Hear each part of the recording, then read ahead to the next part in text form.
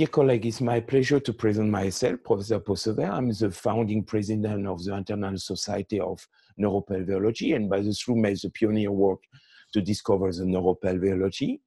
And I wanted to present with this short video uh, our program in uh, neuropelveology and in advanced laparoscopic gynecology surgery, uh, including also the vaginal uh, surgery it was already in the 19th when laparoscopic surgery was first introduced in the field of pelvic oncological surgery that the surgical world was facing inevitable change with an ever uh, increasing need to reduce the functional morbidity of radical pelvic procedure.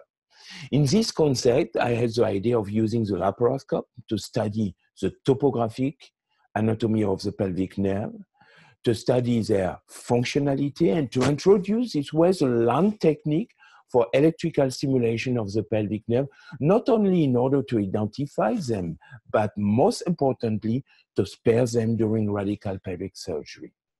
With this in mind, in 1995, I developed the laparoscopic assisted nerve sparing radical vaginal hysterectomy, a modification of the radical vaginal hysterectomy according with the Schauta procedure for the treatment of the cervical cancer.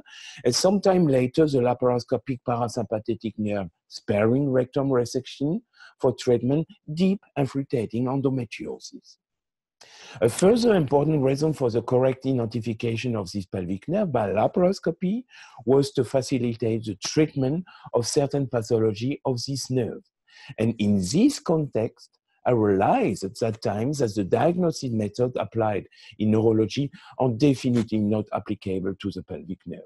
The location deep within the pelvis makes access for both diagnosis and therapeutic investigation extremely difficult. The palpation also can only be achieved through natural orifice, mean either via the vagina or the rectum in men. Such examination techniques are really not commonly used in neurology, of course. With more than 10 years of intense work of this field, I finally developed the concept of neuropelveology, the medicine of the pelvic nerve. And this medicine includes learning both diagnosis and treatment of the pelvic nerve with a special focus on laparoscopic pelvic neurosurgery. So I discover new etiology for pelvic neuropathic pain condition, such as compression of the nerve by enlarged vessel, what we call vascular entrapment, or by scar tissue, or by atypical pelvic uh, muscle fibers. Similarly, I was able to demonstrate based on my own study of more than 300 cases operated in our department that endometriosis of the pelvic nerve, and in particular of the sciatic nerve, is indeed much more common than had previously been estimated. It was in this way that we learned to treat all this pathology by laparoscopy using neurosurgical technique, such as nerve decompression, intrafascicular neurolysis, or the technique of implantation of stimulation electrode to the pelvic nerve, a technique we call the Lion procedure. And the star and amongst the various Lion procedure, so not the most complex, is the Possover procedure, which consists of the implantation of such stimulation electrode to the pelvic nerve in people with spinal cord injury for recovery of walking, um, walking motion. So the next logical step in all this evolution clearly became the realization of a neuropelveologic education program with professional supervision. So it was that in 2014, the ESGA annual congress in Brussels that in collaboration with a few select and very highly skilled surgeon friends in uh, the field of retroperitoneal laparoscopy, I created the International Society of Neuropelveology, also more commonly known as the ISON. At the same time, it became a top priority to create an educational platform for training in both the diagnosis approach in neuropelveology as well as laparoscopic neuropelveological procedure. So to this end, my wife and me, we founded the International School for Neuropelveology in 2008. And this institute focuses currently on training and research in neuropelveology, but not only. It focuses also on teaching and training advanced laparoscopic gynecological uh, procedure, including vaginal procedure, especially the radical vaginal hysterectomy, the Schauta procedure. Within this education framework, we have developed a curriculum in neuropelveology which consists of a three-level training program. The first level course consists of learning the neurofunctional pelvic neuroanatomy and neuropelveological diagnostic method. This course focuses on an essential and in-depth knowledge of the topographic and functional anatomy of the pelvic nerves, both the autonomic and the somatic nerve. And this anatomical knowledge is essential for comprehending the next most important pillar in neuropelveology, the neuropelveological diagnosis.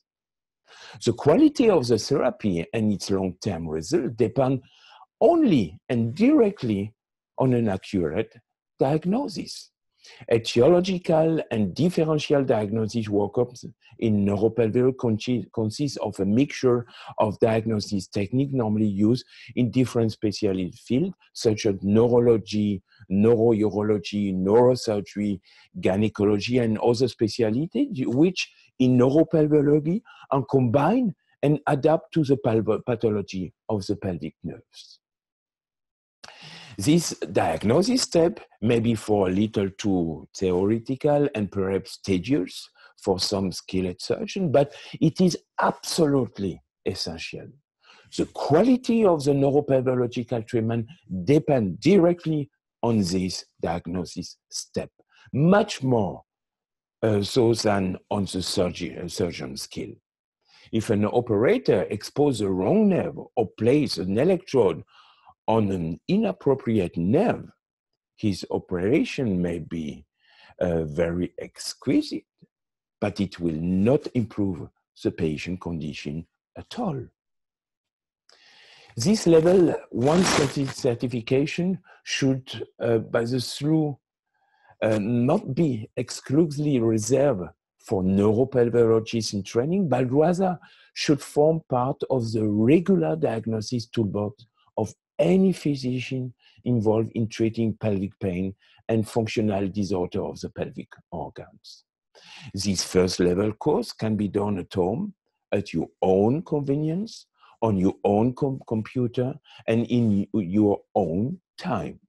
It's based on a series of explanatory videos as well as a manual in neuropelveology.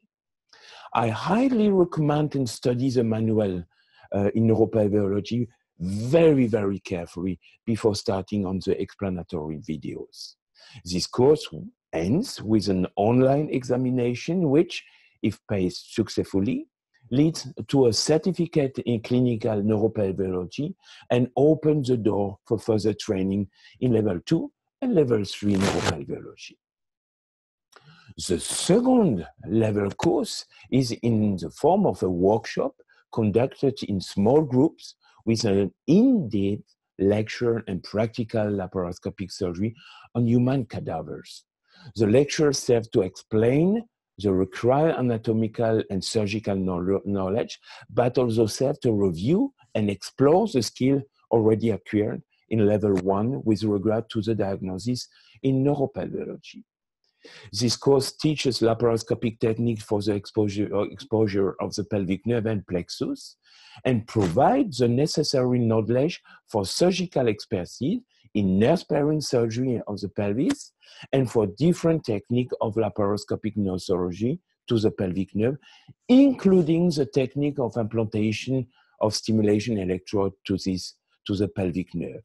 Then, because this procedure is definitively not the most difficult procedure in neuropelveology.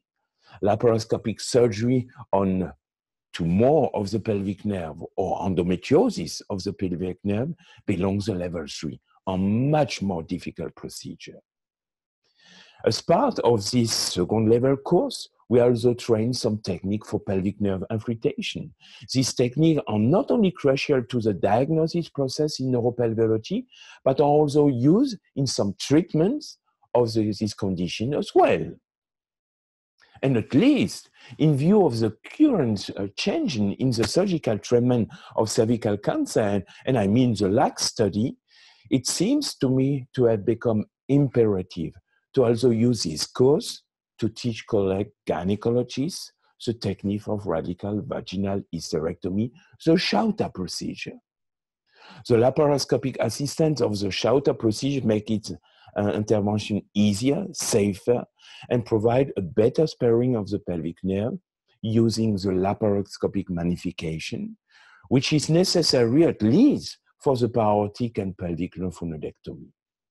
Indeed, in, when we started out work in the 19 on the laparoscopic approach to cervical and uterine cancer surgery, our goal was never to try to develop a technique of laparoscopic Wertheim procedure, but rather to preserve the vaginal approach, the Schauta procedure, the radical vaginal hysterectomy according the Schauta-Stöckel procedure, and to combine this beautiful procedure with a laparoscopic approach for lymphnodectomy, for preservation of the pelvic nerves uh, during resection of the upper part of the parameter, but the lower paracolpium resection is still done via the vaginal route. This being much easier, safer, and much more radical than the abdominal route. All these previous study from the past, from more or less one century, that have compared the Schauta and the Wertheim procedure have clearly demonstrated the superiority of the vaginal room in terms of both morbidity and survival, survival rate, um, at least when the pelvic lymph nodes are negative. Let us remember what Wertheim himself said would there have been a way to remove the lymph node without the need of the abdominal route at the beginning of the last century? He would never have developed his intervention, but would have continued to remain faithful to the intervention developed by his master, Professor Schauta.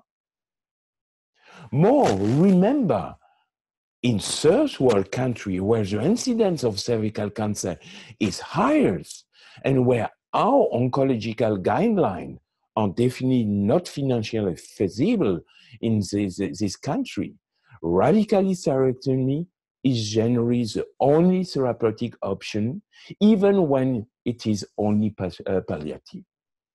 Robotic surgery in this country is not an option and is because it's far too expensive. Laparotomy is definitely an option and mostly the only option there, but vaginal surgery is even more so. It is definitely not without any reason that Subodh Mitra in India carry out the Schauta procedure in the city of Calcutta by managing uh, cervical cancer in poor people.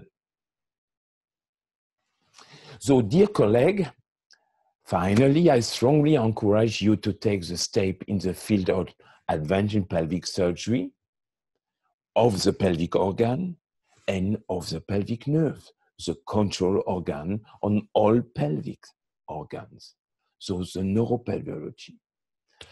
Really welcome to the International School of Neuropelveology, and I hopefully you will enjoy our teaching and training program of the Internal Society of Neuropelveology.